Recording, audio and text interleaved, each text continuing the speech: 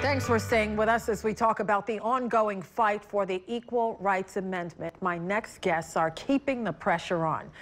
Carol Jenkins is a familiar face, the award-winning veteran television journalist and now co-president and CEO of the ERA Coalition.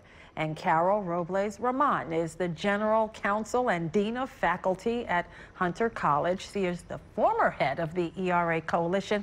Ladies, thank you for being here as we wrap up Women's History Month. And I must thank you, especially Carol Jenkins. You are an inspiration to so many women in broadcasting, myself included. Oh, well, thank you. A thank bright you. beacon and a trailblazer. Well, I celebrate your success. You are just fabulous. So every time I look at you, I said, I knew her when. she was like 12 years old. you call us your babies, my, right? Yes, you're my babies, Oh, both of you. you yeah, know, Carol, I know you. You you have known Carol Jenkins for a long time. Car I met Carol Jenkins when I was in high school. Yeah. And Carol was somebody who gave me such incredible advice. Yeah. And she didn't remember it. She didn't, right? We didn't see each other for like a couple of years later um, when I was deputy mayor of the city Yeah. of New York. And so I, I went up and I reminded her. And so she turned around and she said to everybody, I take full credit. Full Yeah, credit. yeah, yeah, yeah, yeah. Full credit for both of you. Okay, well, it's an thrilled honor be to, have here. you here. And we are Thank talking you. about the ERA. And let's first get right down to the definition of what the ERA means. Equality of rights under the law shall not be denied or abridged by the United States or by any state on account of sex. You, Ms. Doesn't that, Jenkins- doesn't that, beautiful? Doesn't Yes. that sound wonderful? Sounds wonderful, but we do not have an amendment ratified to make it an, a true amendment. Where do we stand now? Well, this was a concept that was created by Alice Paul in 1923. So we are some years uh, beyond that, almost a century that we've spent over those simple words trying to get that into the Constitution. When the Constitution was written by those uh, white slave-owning men, uh, people uh, of color, women, uh, a whole bunch of us were not thought of, not only not included. Uh, in the 1970s and 80s, we had a great push forward. We got Congress to approve it. We got as far as 35 states ratifying it. And then it just went away. And then in 2017, because of a black woman state senator named Pat Spearman in Nevada, mm. she got Nevada to pass the Equal Rights Amendment, to ratify it. And everybody looked around and said, does that count? And our lawyers said, yes, it does. And Illinois followed, and now we came very, very close in, uh, in Virginia. We need 38 states to ratify. I, I say we got as far as 37 and a half because the Senate passed it and the House rejected it.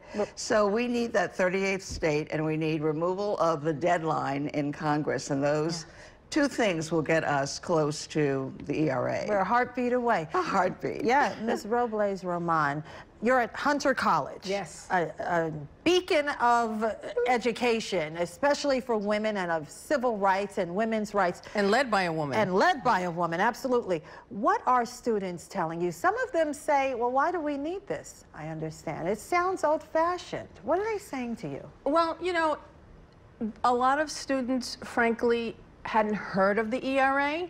So it's not so much an issue of why do we need it. It's like, what is that? Right. Hmm. And so what we have done over the years is tell people what is the ERA.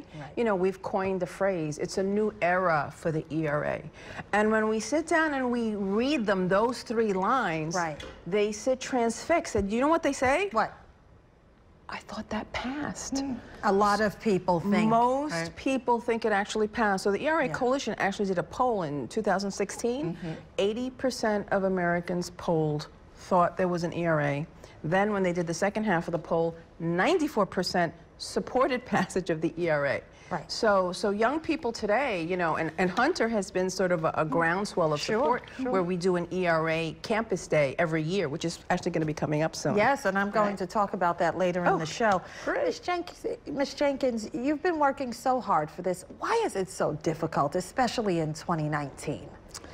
Well, I think the, um, the the problem of not knowing about it is the first thing. I, I, I want to say that recently I read the very first article that was written about the ERA recently that actually was joyful because most stories are, oh, these women have been working so hard. It's a labor of, it's a, a labor of failure, you know? Um, this article in Refinery 29 where a young reporter said, we are the, you know, the, uh, the, the phoenix that, you know, keeps rising. If you think that you are going to put the women and the men who are working on the ERA down, that this is not going to happen, you're absolutely wrong. So I think that what we have to focus on is the fact that we are so close. In Virginia, we lost by one vote. One vote. And that was a committee committeeman who refused to let it come to the floor, as he had done many years before. Uh, and he held up the equal rights of 166 million women in America. Wow. Okay. And when we come back, we're going to talk about the role of women of color in this push. That's very important. Time for a break. In Focus continues right after this. And now, a special Women's History Month flashback from our New York One archives, November 24th, 2015. Nearly four years ago, President Obama posthumously awards the Presidential Medal of Freedom to a New York City icon, Shirley Chisholm. There are people in our country's history who don't look left or right, they just look straight ahead. And Shirley Chisholm was one of those people. She was the original disruptor. how tough. But we know you have the courage, the balls, the audacity to shake the system up within the system. You probably know her as the first African American woman elected to Congress in 1968, where she served her Brooklyn district for seven terms and took no prisoners. The hour has come in America when all of us in this room can no longer be the passive recipients of whatever the politics of a nation may decree for us as citizens within this realm. You may also know her as the first black candidate for president from a major party at a time when few believed it was even possible. I could serve as president of this country, believe it or not. At least in- I've raised my question. That's what you're a candidate Let me go back. That's why I'm running. But she was also the first woman to seek the presidential nomination from the Democratic Party and a tireless fighter for women's rights. Politicians come out from every corner to get the most important thing you have, your vote. Why is it that it has to always be white males, white males? She was one of the founders of NOW, the National Organization for Women, along with legends like Betty Friedan. She also helped create the National Women's Political Caucus, and she fought hard for programs designed to help women, especially moms, in need. Shirley Chisholm would lose her run for the presidency, but she never gave up the fight, and she's still remembered today. In 2014, she was honored with her own postage stamp. Last year, exactly 50 years after her historic election to Congress, she won another popular vote to have her very own statue at an entrance to Brooklyn's Prospect Park. A black woman who carved a path for herself in public life when women, especially women of color, were expected to sit down and be quiet. We're back with our guests talking about the ongoing push for the Equal Rights Amendment. Ms. Jenkins, are women of color adequately represented in this conversation? Well, I would say that we are in the forefront. We would not have all of this movement uh, in the current ERA uh, uh, search if it were not for women of color. Uh, I mentioned Pat Spearman from Nevada. In Illinois, the next state, uh, it was Juliana Stratton, who's now the lieutenant governor there, whose impassioned plea on the floor there passed the, uh, the ERA bill there. In Virginia, Jennifer Carroll Foy, a delegate, was the chief sponsor everywhere uh, you look in this movement, women of color, black women, Latina women are present and dr- the driving force, which is probably why it's going to be so successful. we are we are carrying that ball forward, and uh, you know I you know I just I cannot say enough how uh, gratifying that is because I remember the last time around, as does Carol although she was a lot younger than her in, the, in, her, in the school books then, uh, but where the women of color were present but were not acknowledged. And I think that that is a huge difference now. Right. And Ms. Robles Roman, let's talk about what's happening at Hunter in the classroom. they're, they're going even further by educating the new generation. That's absolutely right. We have a number of terrific programs. For example, um, our Roosevelt House Human Rights Clinic, um, one of our colleagues, Jessica Neuwirth, is one of the directors there. And she is just bringing this incredible uni focus on the ERA, not just at the national level here in the United States, but internationally. 179 countries around the world actually have an ERA type of position in their constitution, and guess which one doesn't? Ours. Right. Um, and so she does this incredible job of bringing the message to our students in, in such an incredible way. I had an opportunity to uh, teach one of her classes, and the students were like sponges. And, and then thereafter, after we taught the class, uh, Congressman Nadler was coming in to, to, to speak. And each one of them asked like a super poised women's equality, ERA, you know, when are we having it? How are you voting? question. and it was so incredible to see that. Number one, that Hunter was a part of that, uh, that Professor Neuwirth was the one who kind of put the conversation in place. And, and frankly, the Congressman Nadler came and, and engaged our students at such a sophisticated level. We should say that Jessica is the founder of the ERA Coalition absolutely. and runs the Human Rights Program now at, uh, at Hunter. At Hunter. But, you know, there are some people who are saying, listen, it's 2019, let's make it a big tent. Let's include LGBTQ rights. Let's include people with disabilities. What's your take on that? Well, at the uh, ERA Coalition, we for many years have been working on a wider equal rights amendment. Uh, it's called ACE, uh, and Amendment for uh, Constitutional Equality. Uh, we believe that there that that's the next step. We're so close to the to the old, I don't want to call it the old ERA, we're almost there. We're putting a great deal of energy in that. But the next step is what do we do about everyone else that was left out of the Constitution? Sure.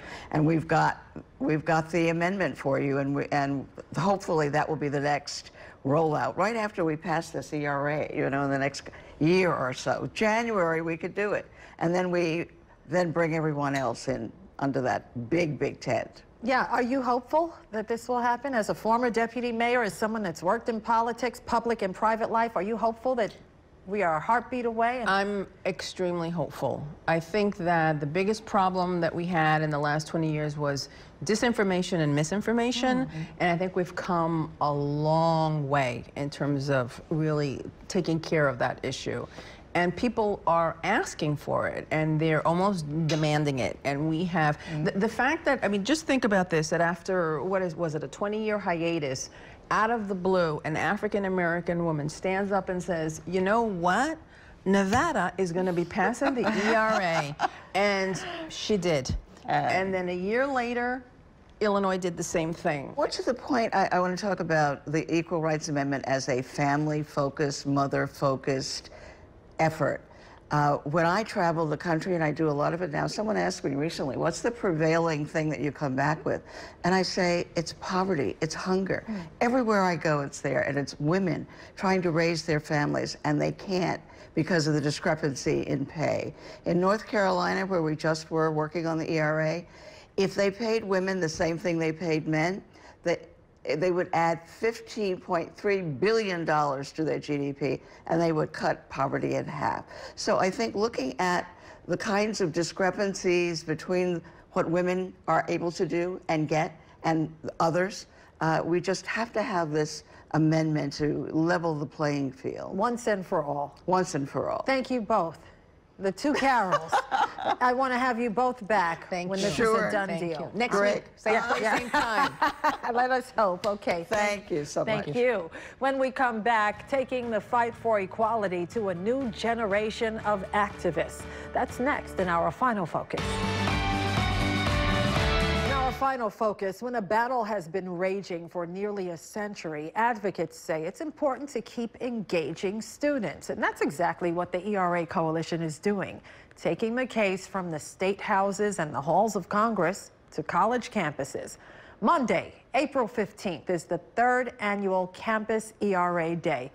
It started with just two schools, This year, 19 colleges are taking part. Here in the city, it'll be held at Hunter College's Roosevelt House. And the speakers read like a who's who of the women's movement. Carol Jenkins, you saw her on the show just moments ago, actress and activist Patricia Arquette, and the legendary Gloria Steinem.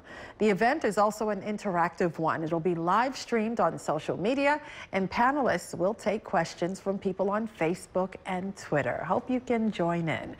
Thanks so much for watching In Focus. We appreciate you spending your Sunday with us.